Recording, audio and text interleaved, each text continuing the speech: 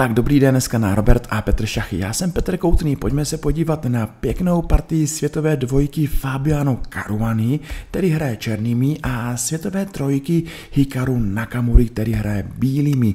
Tahle ta partie se hrála v předposledním kole FIDE Grand Swiss 2023 a mohla rozhodnout o vítězi tohoto turnaje. Vítěz turnaje postupuje do turnaje kandidátů, vítěz turnaje kandidátů si zahraje o titul mistra světa. Tak kdo ví, kam až dokráčí Hikaru Nakamura, japonský šachový samuraj. Zatím se nic moc neděje, protože tohle je teorie. Samozřejmě dá se čekat, že tak skvělí a silní hráči ví, co hrají. Po tahu dáma na F3 C5 může vypadat to černého pěstové centrum tak nějak nepříjemně může hrozit tah C4 a aby nehrozil, tak bílý zahrál tah věž D1. Je dobré a silné si pamatovat, nebo je dobré a silné dávat věžku pod dámu a tento tah si pamatovat, protože to někdy vytváří zajímavé taktické možnosti. Tah C4 v tomto okamžiku je špatný, protože je tam ta dáma, střez na C4 a moc děkuji za pěšce. To znamená, že tohleto je nepříjemný tah, který ten černý vyřešil tím, že dal svého střelce, ale udělal bílému hodně špatné pěšce a zahrál tah dáma na A5 je dobré vědět, že nehrozí vzetí tohoto pěšce, protože tady je střelec H7 a dáma zadarmo. Takže takový otrávený pěšec, kterého černý ani zatím moc nechce vzít a proto ten bílý má čas zahrát tak střelec na G5 a to je hrozba, která hrozí vzít na F6 dvakrát. Právě proto ten černý to hraje centrem a zahrál kůň E4. Zatím největší kompenzace bílého za takové ty špatné pěšce jsou právě jeho dva střelci a ten bílý se rozhodne vrátit jednoho střelce za tohoto silného jezdce na E4, protože možná nemá stejně na výběr a bude se hrát pozice, kde budou dominovat nestejnobarevní střelci. Pozor, ve střední hře nestejnobarevní střelci to není remiza, ve střední hře znamená jenom mít dva eh, nestranované střelce znamená to, že ten, kdo zautočí, má velkou šanci na výhru. Teda stále to je útočná agresivní pozice nestejnobarevných střelců ve střední hře. Vzít teďka toho pěšce na E4 je asi trošičku škoda, protože jít do koncovky nějakým takovým stylem moc zábavy a šanci na výhru bílému nepřinese. Stále jsou tam ti nestejnobarevní střelci a když jsem říkal ve střední hře, jsou to signálem pro útok, tak v koncovce docela častým remizovým faktorem. Takže pojďme zpátky a z toho důvodu ten bílý zahrál dáma na G3, hrozí někdy střelec H6, nepříjemný tah a střelec F6. Jak jsem říkal, když dáváte věžku pod dámu, dáma musí ustoupit, když dáváte dámu pod soupeřového krále, tak ten soupeřův král by měl ustoupit a právě proto ten Fabiano šel král H8, aby nehrozil tak dáma A4 a trošku nepříjemnosti eh, na C2, bílý zahrál A4, věž E8 a věž D6. E, malinkým pohledem na tuhletu pozici bychom si mohli říct, že ty figurky bílého jsou malinko víc aktivnější. Prostě snaží se a možná chce malinko víc vyhrát. Ten černý král nemá u sebe žádného obránce a to je dobré si všimnout, protože když je slabý král, tak ten útok má větší šanci na úspěch. A pozor, pro černého je strašně důležité, že má takto postavené tři pěšce. Prostě žádným pěšcem od krále v nebezpečných pozicích by se nemělo chodit a neměl by tím pěšcem chodit i Fabio Caruana, jenomže on zahrál tak H6. A ten tah H6 je pravděpodobně tah, díky kterému tu partii prohraje. No, nevím proč Fabiano zahrál tak H6, ale zahrál ho. Pojďme si ještě zopakovat, že když hrajeme střední hru nestejnobarevných střelců, tak útok je logickým plánem. H6 je opravdu divný tah, protože ten útok potom bude ještě lepší. Někdy hrozí střelec H6, někdy hrozí střelec E5 a střelec G7 a hlavně po tahu H6 má ten černý opravdu velké problémy. Zahrál věž E7, dáma E3. No a teďka střelec H6 je opravdu ve vzduchu, jakože ve vzduchu je i tento pěšec. Eh, věž C8 a Hikaru vzal na H6.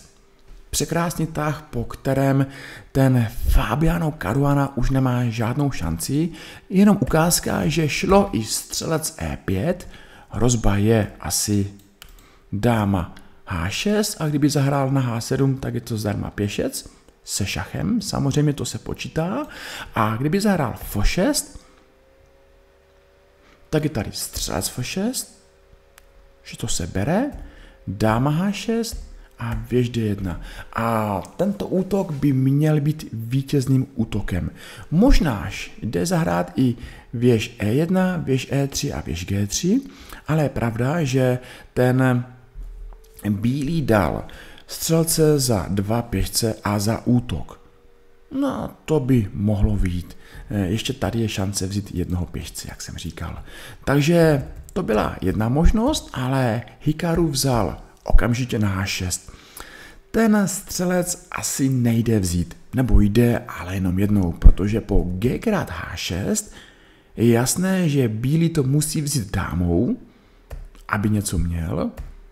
Dáma G5, po tomto šachu vysí tady věžka, takže ten černý by musel jít na F8.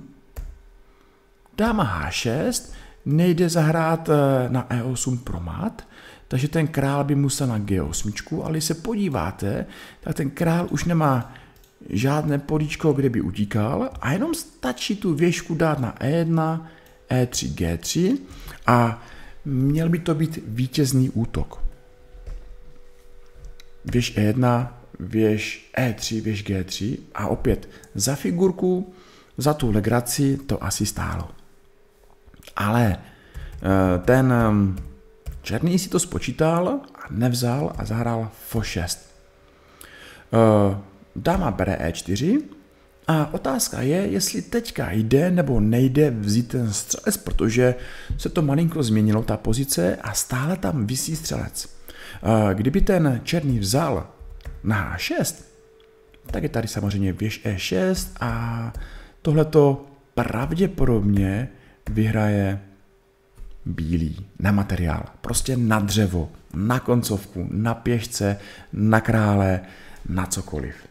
Takže vidíte, že i e, po dáma E4 to nejde vzít a černý vzal dáma C3, věž D1. Stále bychom vzali věž E6, právě proto věž E8 a věž D8. Tak, e, kdyby to teďka vzal, tak je tam určitě dáma G6 eh, s hrozbou vzetí a kdyby ten černý vzal, tak to vypadá, že to je mat. Samozřejmě máme tady ještě dáma H6, dáma G6 a další zábavu. Právě proto po tahu věž D8, střelec G8, to je garde a tady vysí střelec. Tak dáma H4 a znova, kdyby to vzal teďka tohoto střelce, tak můžeme vzít, nebo nemusíme, asi bychom vzali, vzali, dáma H6, a to je špatně, to je špatně, to jsem zahrál špatně. Co bychom teďka zahráli? Uh, teďka bychom mohli zahrát asi dáma H6. A asi vzít, vzít a už to vidím. A věž, věž D7 tak uh, možná taková varianta by stačila. Protože po dáma C2 je dáma G7. Aspoň jsem to našel. Uh, takže po tahu dáma C2 přišlo věž D3, střelec H7 a věž D7. Teďka se něco musí vzít a hlavně v tomto okamžiku změnil Hikaru plán. Hikaru už nehraje na útok a na mat, ale hraje na materiál a na dřevo a když máte víc nebo máte výhodu, je potřeba pozici zjednodušit.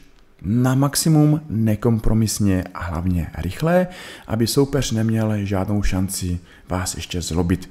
Proto po G5 dáma G3, dáma B1, nic se neděje, jedna výměna, dáma C7, musí přijít dáma F4, ale to nestačí, protože tahle ta koncovka je samozřejmě špatná, šách, a i když to vypadá na uh, nestémbrané střelce, tak uh, tahle ta koncovka je vyhraná za bílého. Pěkná partie Hikaru Nakamuri, co jsem opravdu nepochopil, tak byl ten tah H6. Tady se ten Fabiano Caruana musel šeredně seknout, protože e, možná ta partie není tak zlá, jak na první pohled vypadá, ale potom ta A6 si myslím, že ten Černý už si nezahrál. Takovou šanci dát e, takovému útočníkovi, mm, tak tomu se říká odvaha anebo zahozená partie.